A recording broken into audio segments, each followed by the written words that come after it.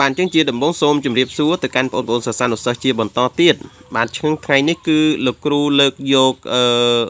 បាទអញ្ចឹងវិធីចែកពហុធាមកបង្ហាញបងប្អូនបន្តទៀតអញ្ចឹងនៅក្នុងលំហាត់ទី2នេះនៅក្នុងលំហាត់ទី2នេះគេគេសួរយើងថាតើពហុធា f(x) ស្មើ x ស្វ័យគុណ3ដក 2x ការ៉េដក 5x បូក6ចែកដាច់នឹងពហុធាណាអញ្ចឹងបងប្អូនអង្គុយគិតមើលថាតើ ពហុធា fx របស់យើងនេះចែកដាច់នឹងទ្វេធាណាឬចែកដាច់នឹងពហុធាណាដើម្បីឲ្យដឹងថាតើវាចែកដាច់នឹងទ្វេធាណាឬពហុធាណាបងអូនសាកល្បងជ្រើសរើសយកតម្លៃលេខបាទតម្លៃលេខណាមួយមកជួសត្រង់ x នឹងបើជួសត្រង់ x ទៅឃើញយើងស៊ីសងឬបូកដកទៅស្មើ0មានន័យថាពហុធាននឹងគឺចែកដាច់នឹងចំនួនផ្ទុយបាទចំនួនផ្ទុយពីចំនួនហ្នឹង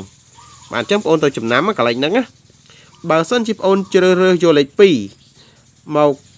ដាក់ចំនួនដោយ x ទាំងអស់នេះបាទជួដោយ x ទាំងអស់នេះស្រាប់តែ fx របស់យើងស្មើ0មានន័យថាពហុធាននេះ គឺចែកដាច់នឹង x ដក2ប៉ុន្តែបើសិនជាបងអូនយក x ដក2មកជួសត្រង់ចំណុចទាំងអស់នេះស្រាប់តែ c សងទៅគឺស្មើ0មានន័យថាពហុធា fx នេះគឺចែកដាច់ជាមួយនឹង x បូក2ឃើញទេ បើយើងយកដកមកជួសស្មើ0មានន័យថាវាចែកដាច់នឹងបូកបើយើងយកបូកមកជួសអឺតម្លៃនេះស្មើ0មានន័យថាវាចែកដាច់ជាមួយនឹងចំនួនដែលជាប់សញ្ញាដកតោះឥឡូវលោកគ្រូមកបង្ហាញអំពីរបៀបនៃការយកពហុធា fx នេះយកមកចែកជាមួយនឹងពហុធានឹងថាតើដាច់អត់មុននឹងចែកនឹងគឺលោកគ្រូត្រូវការធ្វើការយកតម្លៃមកជួសសិនទី1អញ្ចឹងលោកគ្រូ យកតម្លៃបើបើទេណាបាទបើ x របស់យើងស្មើ3បាទ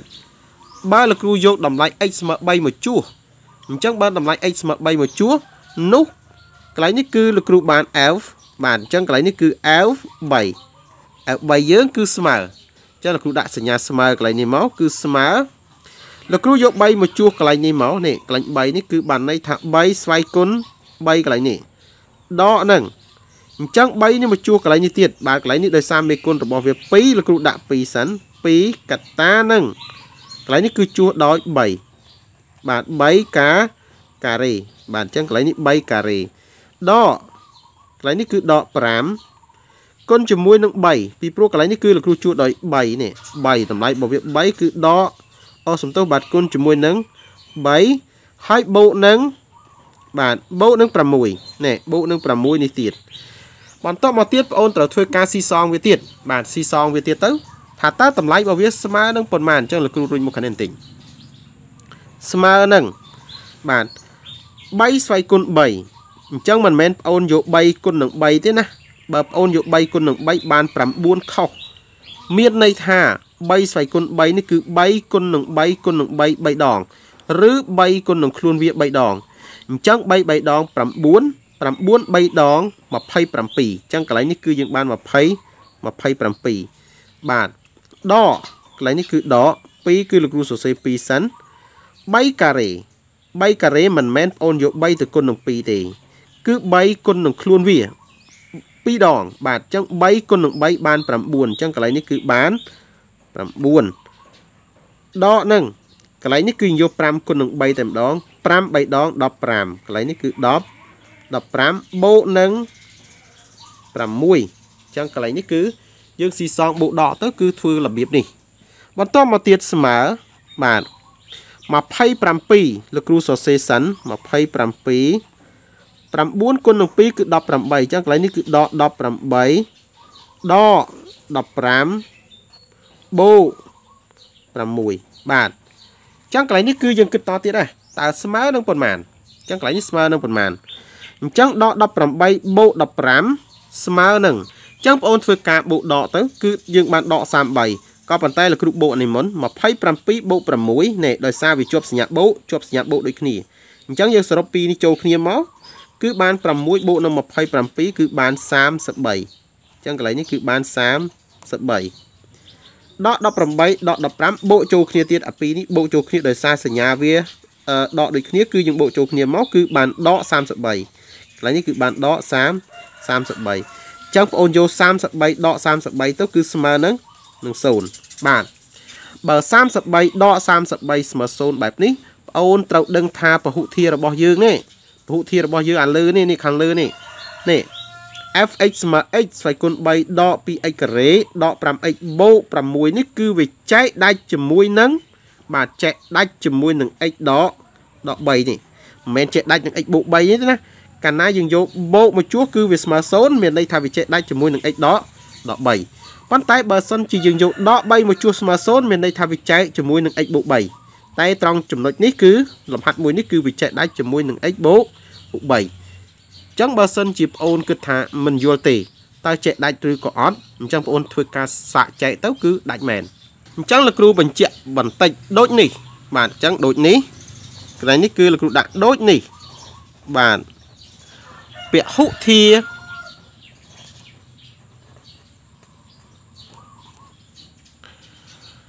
fx ស្មើ x ស្វ័យគុណ3ដក 2x ការ៉េដក 5x បូក6ចែកដាច់នឹងបាទចែកដាច់នឹង បាទចែកដាច់នឹង x ដក3បាទអញ្ចឹងមានន័យថាវាចែកដាច់នឹង x ដកបាទអញ្ចឹងសូមទោសបងប្អូនដោយសារលោកគ្រូសេអត់បានមើលបាទអញ្ចឹងកន្លែងនេះគឺ x ស្វ័យគុណដក3នេះ x ស្វ័យគុណសំទោសពហុធាននេះគឺចែកដាច់នឹង x ដកដក3នេះឃើញទេគឺវាត្រូវចែកអាចចែកដាច់នឹង x ដក3ហ្នឹងអញ្ចឹងបងអូនធ្វើការគូហុំវាបន្តិចមកបាទនេះ អញ្ចឹងអឺលោកគ្រូចង់បង្ហាញទៅប៉ាន់បងប្អូនថាដើម្បីឲ្យងាយស្រួលក្នុងការដឹងថាលេខនឹងពហុធាននឹងចែកដាច់ជាមួយនឹងទ្វេធា គឺបងអូនត្រូវជ្រើសរើសយកបាទតម្លៃ x ដែលស្មើនឹងចំនួនអឺគាត់នឹងយើងយកទៅជួសបាទកាលណាយើងចូលទៅជួសទៅស្មើ0មានន័យថាលេខហ្នឹងគឺត្រូវចែកដាច់នឹងចំនួនផ្ទុយនឹងវាហ្នឹង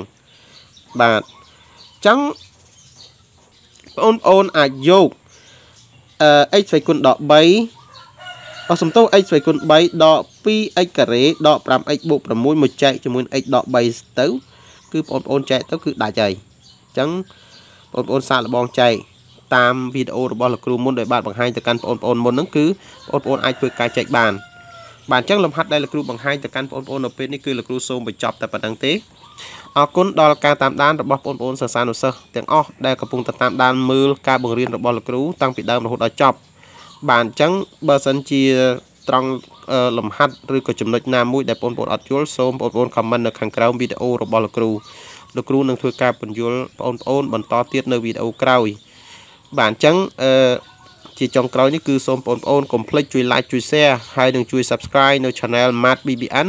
ដើម្បីបងប្អូនទទួលបានមេរៀនថ្មីថ្មីបន្តទៀតពីលោកគ្រូបាទជាចុងក្រោយនេះគឺលោកគ្រូសូមអរគុណសូមជម្រាបលា